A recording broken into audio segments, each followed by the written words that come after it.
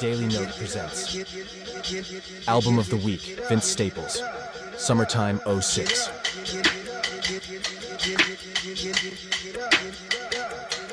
Yo, so today's first entry into my album of the month weekday. I don't know how we're doing this yet, but my first intro to it is gonna be Summertime 06 by Vince Staples.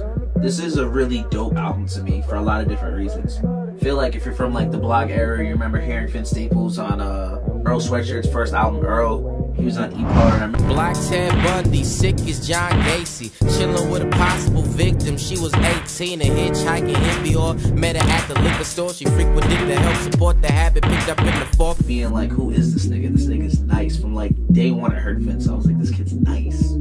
And um, keeping up with him through like Odd Future forums and just the, the internet, he'd have random verses kind of pop up here and there. It wasn't until he really linked up with like Mac where he really started dropping projects a lot, from what I remember. But this right here was like some revolutionary shit from Vince Staples. I'm not gonna hold you because one is just like this nigga did a double disc as his debut, signed a Def Jam. Like this was just the ultimate win from a nigga who just very much didn't seem like he wanted to rap. So story of how I why I bought this album, where I bought this album. I Vince Staples was opening for ASAP Rocky on his tour. I believe it was the ASAP Rocky and Tyler tour they came to Foxwoods. Tyler wasn't on the show for whatever reason though. So it was ASAP Rocky, Danny Brown, and Vince Staples. Phenomenal show by the way. Foxwoods, really dope venue to see a show at. And they all fucking killed it. This is all these guys kinda still like in their prime. Danny Brown put on an excellent show. Rocky killed it. This is fresh off of a lot. So as I'm walking into the venue, I'll never forget this. You can kind of see everyone's merch tables in the beginning, and Vince had a table, and this album was on it, and it was priced at like forty dollars or fifty dollars. remember being like, it's kind of high. Why? And the dude was like, oh, it's signed. I'm like, oh shit, like, bet. At the time, I had just started collecting albums. This is around 2015, 26. I just started buying albums a week, and I was like, perfect. This can be my album of the week, and it's signed. I think it'll be one of the first signed albums I have in my collection. So I was like, bet, I'm gonna buy it. I was like, but I was like, I was like, I gotta make sure that I get a picture with him later. And the dude was like, yeah, fuck it, swing by later. Like that's that's nothing. Like you're buying an album, come through. So I go to the show. Show's really dope. Everyone kills it. Towards the end, towards the end of it, I'm walking out. I'm passing on the merch table, and fucking Vince is there. Everyone's at Rocky's table because Rocky's at his table. Vince is liter- literally just fucking chilling, bro.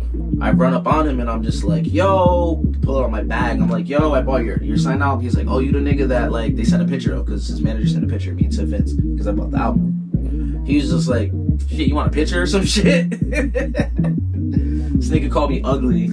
Um, as we took the picture. He's mad funny. Like he's as funny as in person as he is in the interviews, and he's just generally a funny human being. So that's like when I bought the album. So it's really special to me because it's like not only did I buy an album that I was a really big fan of, I got to meet the artist the same night. Got a picture with him. I'm mad young in this picture too. I'm like sophomore in college at this point. Vince was like bald, bald, bald. He was bald, bald this picture. I'm trying to figure out like bald area. Like not super bald, but like you know what I'm saying the lineup wasn't as crisp as it's crisp as it is now. We take that out, but we keeping that crisp time, if you know what I mean. Mm-hmm. But yeah, nah, shit was dope, man. My favorites off this album are Let Me Know, um, produced by DJ Dahi, featuring Jhené Aiko. That's like one of my favorite Vince Staples records. Period. I just feel like it showcases kind of all the things he's influenced by. I feel like it it show like it has some West Coast vibes to it. I love Jhené on it. Jhené's always been one of my favorite features on rap records when it comes to like that genre. Like a Jhené always kills it. Yeah, let me know. Let me know is kind of like a ten out of ten record. It doesn't really sound like anything in his discography, but it showed early like all his kids experiment to do different types of records. Like it's not just rapping he does.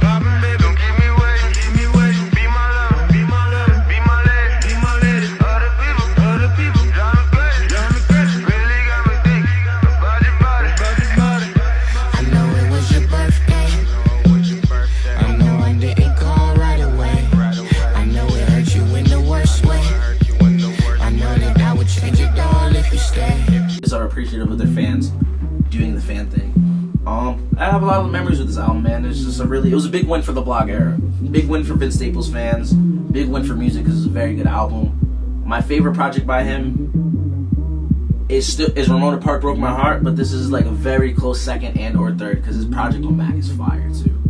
But yeah, man, this is my pick of the week, month, whatever we're gonna end up doing, man. Uh, thank y'all for listening keep buying physicals. I'm gonna stress that. Buy physical music, bro. We're not gonna let this shit die. There's nothing better than just being able to look at the music you love and just look at the the cover and just read the credits. Like bring back reading credits, yo. Like learn who produced some shit. Learn who engineered it. These people are important, bro. Buy physical music.